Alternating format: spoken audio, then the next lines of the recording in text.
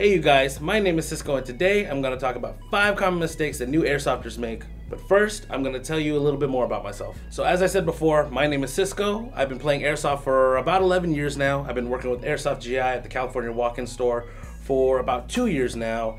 Uh, I have more guns than I do fingers on my hands. Um, favorite fields I like to go to, uh, Code Red, SC Village, uh, now recently uh, named Wildlands Airsoft in uh, Lake Elsinore. Uh, you can also find me at TAC and the new field Project N1. I have multiple plate carriers and chest rigs, but I do have a go-to loadout that I'm going to show you guys right now.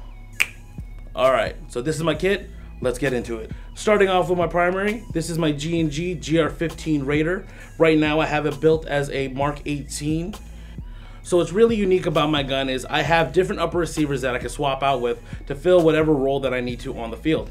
Right now it's filled as a Mark 18, so I can go really indoors CQB style gameplay, but I do have longer upper receivers for outdoor gameplay where I need to have a little bit more range and accuracy.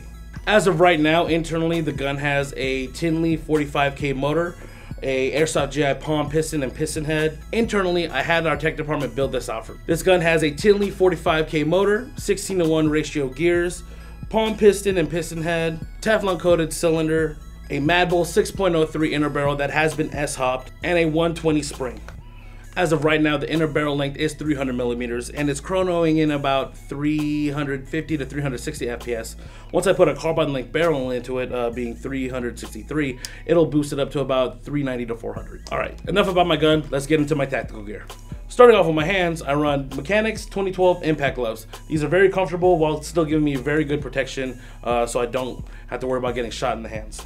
For my plate carrier, I run a Condor MPS chest armor. Starting from my shoulders, I have the included shoulder straps that come with the plate carrier.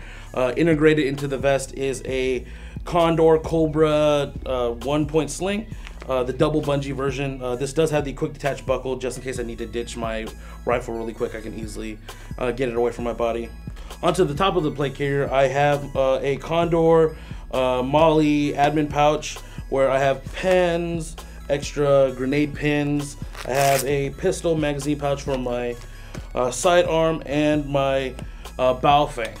Going into the bottom of the plate here, I have eight mid-cap magazines. I do own quite the variety of magazines. Uh, currently, there are PTS EMAGs and uh, EPMs.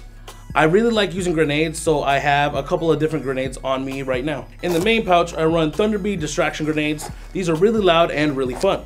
Up front, I run a dual flashbang pouch, which holds my Airsoft Innovation Cyclone grenades. On the left side of my vest, I do run a rubber knife just in case I get up close and personal.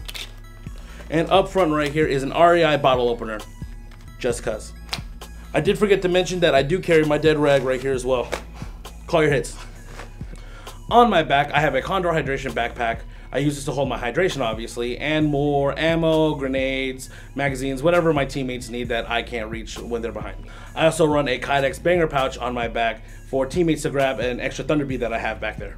On my first line for my sidearm, I run an Elite Force 1911 TAC.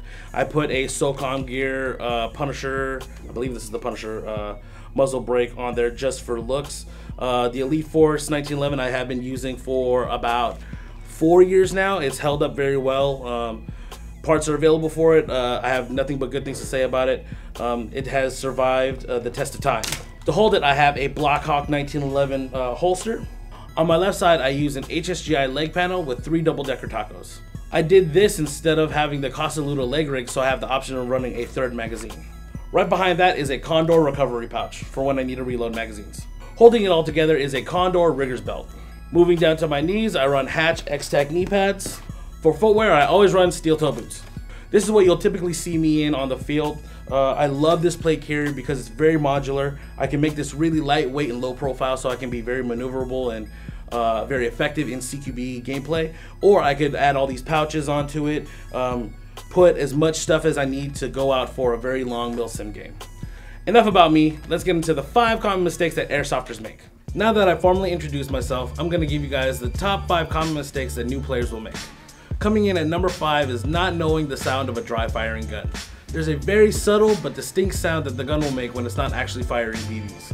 It's happened to countless people, including myself, where I'll take aim and start firing, but nothing but air comes out. What will normally happen is your enemy will hear you and they'll shoot back. By knowing this sound, it'll let you know to change your magazine or wind your high cap. Moving on to number four is having the right tool for the right job. We were all there once when we're just getting started and we want to buy all of our tactical gear at once. As you saw earlier in the video, I run a lot of gear when I go out and play. But that's because I'm normally running two to three hour games. Depending on what gun you have and what role you're trying to play will depend on how much kit you actually need. There's no reason to go out with 80 pounds of kit if you're going to be going to play a 15 minute game. But on the other end of the spectrum, you want to make sure that you have all the right equipment that you'll need to get out and have a good day of play. There's nothing worse than getting out onto the field and realizing that you forgot to load your magazines or forgetting to charge your batteries the night before. Coming in at number three is sniper rifles for your first airsoft gun. We do get a lot of new players in the storefront asking for a sniper rifle as their first airsoft gun. But I'm sorry to say it, you probably should go with an AEG instead. Fact of the matter is, a lot of us ended up in this hobby due to a lot of action movies. Most commonly, the sniper rifle. You'll see that actor a long distance away, taking one shot, one kill. And I can't lie, the motion of pulling a bolt back is really cool. But that bolt might actually be the problem for most players. In the storefront, I see an average of 10 to 13 year old players trying to get a sniper rifle for their first gun. Uh, I hate to crush their dreams, but I'll normally hand them one and ask them to try and pull the bolt back. Majority of affordable sniper rifles are spring powered, and that spring is really stiff. Now, considering that you are older and have no problem pulling the bolt back, I still have to warn you about the downsides of bolt action sniper rifles. Out of the box, you're gonna get about the same range as an AEG. Considering that you're starting off, you're not gonna wanna put hundreds of dollars in upgrades to make it shoot 500 FPS and 300 feet. When you're on the field and fire at another player, by the time you pull the bolt back and get your sights on target, the other player probably would have shot 20 or so BBs at you. It requires a lot of patience to run a sniper rifle, and most fields have a 100 foot engagement distance, so you're going to be so far behind that you're not going to see any action. So, if you were considering a sniper rifle as your first airsoft gun, please think about it. Make sure that's really what you want to do. And at number two is situational awareness. Mastering this will take some time, but it will make you a better player in the end.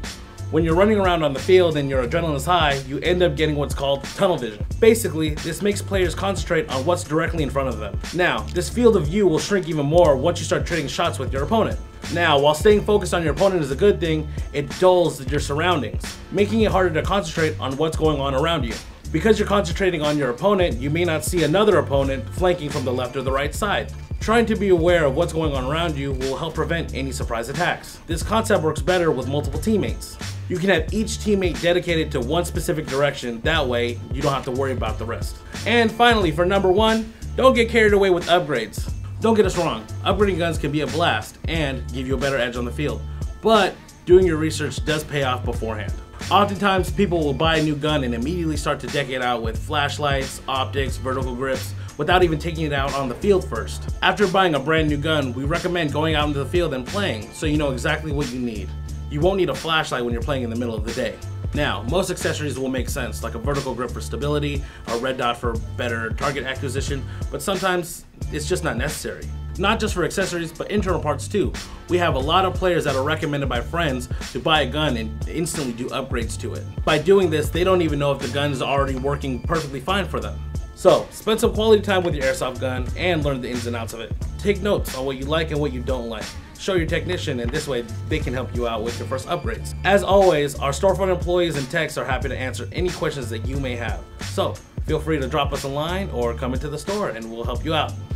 Bonus tip, call your hits. It's honor-based game. We're all out here to have fun. What if you don't call your hits, it ruins it for everyone else. Alright guys, I hope our five tips gave you some food for thought. Maybe you guys even got a kick out of it. If you have any tips for new players, leave them in the comments below. Help our community grow. Uh, we're all friends out here, so we want to help the community grow bigger. Uh, my name is Cisco, and thank you guys for watching GITV.